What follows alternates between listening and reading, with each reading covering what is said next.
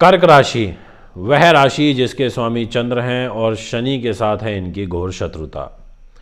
अब यहाँ पर शनि का जो परिवर्तन है, यह आपके लिए कैसा रहेगा?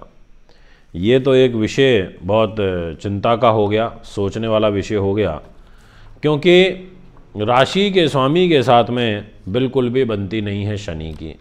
अब शनि की जिसके साथ ना बने तो फिर थोड़ी गड़बड़ तो होती ही है उसमें।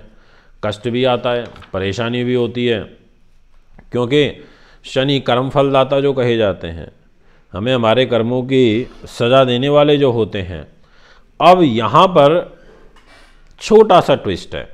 ज्योतिष का एक फलादेश का नियम है कि अगर कोई भी ग्रह अपने कारक स्थान में बैठे, जिस स्थान से वो प्रेम करता है, या जिस, जो स्थान उसका प्रिय है तो वो उस स्थान के फल की वृद्धि कर देता है। तो यहाँ जहाँ ग्यारह नंबर आपको लिखा हुआ है इस पत्रिका में, वो है कुंभ राशि।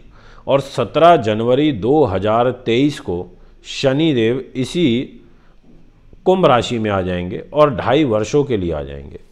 अभी जो वो स्थिति में चल रहे हैं, वो पत्नी के घर में है तो कर्क वालों का जो दाम्पत्य जीवन है, वो अभी ख़राब चल रहा है। क्योंकि शनि की मकर राशि में रह करके सप्तम दृष्टि जा रही है चार नंबर पर जो कि कर्क राशि होती है। कुंडली में देख सकते हैं। तो शनि का एक नेचर है, अलगाव और सेपरेशन देना। और ये सप्तम भाव में इनको एक दोष भी लग जाता है। तो ये मैरिज लाइफ के लिए ठीक नहीं चल रहे थे। पर अब मज़बूत हो जाएँगे। अब स्थिति में सुधार भी देखने को मिलेगा। ये रही अभी एक जनरल बात। सबसे पहले आपको नमस्कार करता हूँ। एक बार पुनः स्वागत करता हूँ आप सभी का हमारे यूट्यूब चैनल पर। अपना ध्यान रखिए, स्वस्थ रहिए, घर में बड़े बुज़ुर्गों का सबका ध्यान रखिए। ग्रह परिवर्तन के दौर में अब आ चुके हैं और कोई भी ग्रह जब अपनी राशि से दूसरी राशि में जाता है तो उसका भूलोक भविष्य पर एक बहुत बड़ा व्यापक प्रभाव देखने को मिलता है। आप एक ही जगह पे जम के बैठ जाओ कई सालों से और जब आपको वहाँ से हिलाया जाएगा तो आपको बड़ा ज़ोर पड़ेगा हिलने में, क्योंकि आपने उस स्थान को ग्रहण कर लिया। उस स्थान से आपकी फीलिंग्स अटैच हो गई। ऐसे ही मकर राशि में थे तो मकर के लिए फल दे रहे थे, कुंभ में जाएँगे तो अब कुंभ के लिए देंगे। यहाँ पर सबसे पहले ये समझ लीजिए कि जो शनि महाराज हैं, उनकी भूमिका क्या है? इनको सूर्य पुत्र कहा जाता है। ये एक ऐसे ग्रह हैं कि अगर ये कहीं भी अपनी टांग अड़ा दें तो फिर, उसका प्रभाव तो बहुत बड़ा पड़ता है, इसमें कोई दोहराया नहीं है। सूर्य पुत्र, इनका एक नाम अर्क पुत्र भी है। इनको आसित के नाम से भी जाना जाता है। और ये एक ऐसा ग्रह है सौर मंडल के अंदर जो ढाई वर्ष में राशि परिवर्तन करता है सबसे स्लो गति से। यह वृद्ध अवस्था का कारक ग्रह है और इसको सौरी के नाम से भी जाना जाता है। कोण के नाम से भी इनको जाना जाता है। और ये पश्चिम दिशा के स्वामी होते हैं। इस दिशा में इनको बल मिलता है, ताकत मिलती है, साहस मिलता है। अब इस घर में, इस दिशा में जब भी इनका गोचर होता है तो शनि बलवान स्थिति में फल देते हैं। जैसे सूरज को पूर्व में मिलता है तो सूर्य के बिल्कुल एंटी शनि है शनि को पश्चिम में मिलता है। ये हमारे जीवन में हमारे को आयु का प्रतिनिधित्व करते हैं, मृत्यु देते हैं। सूर्य से हमें जीवन मिला तो मृत्यु हमें शनि से मिली। अष्टम भाव के कारक होते हैं, ये एक अच्छी बात है। और इसी घर में अब आगे आने वाली 17 जनवरी 2023 को शनि महाराज का गोचर हो जाएगा। कैसा रहेगा ये गोचर, ये मैं आपको बताऊँगा। इसलिए जुड़े रहिए, वीडियो को पूरा देखिए।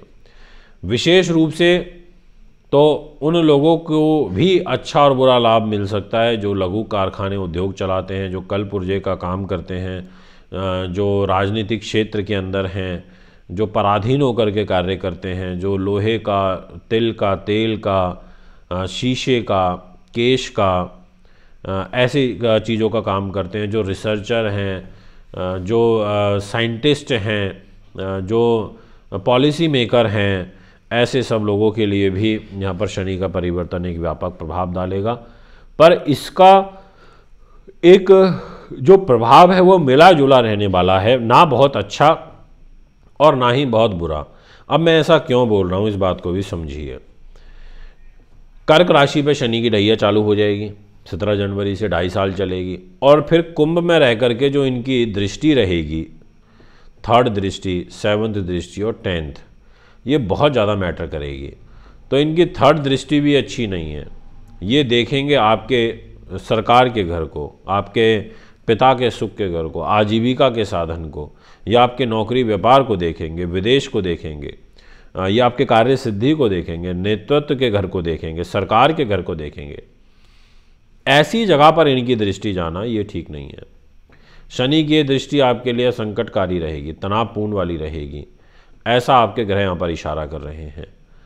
तो आइए, पूरा प्रॉपर तरीके से फल की शुरुआत करते हैं और एक चीज़ मैं ज़रूर बोलना चाहता हूँ, जिनको स्वास्थ्य में प्रॉब्लम चल रही है, जिनको पैरों में तकलीफ़ चल रही है, जिनके नर्वस सिस्टम कमज़ोर हैं ऐसे लोग थोड़ा सा विशेष रूप से ध्यान रखिएगा, ये मैं कहना चाहता हूँ। घुटनों में दर्द चल रही है, वायु और कफ से संबंधित विकार आपको झेलने पड़ने पड़ने झेलने पड़ रहे हैं। तो उन लोगों को भी मैं यहाँ पर सचेत ही करना चाहूँगा अपनी वीडियो के माध्यम से। तो दोस्तों, अब हम बात विषय को आगे बढ़ाते हुए करते हैं। तो जैसा कि आप इस कुंडली में देख पा रहे हैं, जहाँ दस नंबर लिखा है, वहाँ के स्वामी शनि देव ग्यारह नंबर में आके बैठेंगे।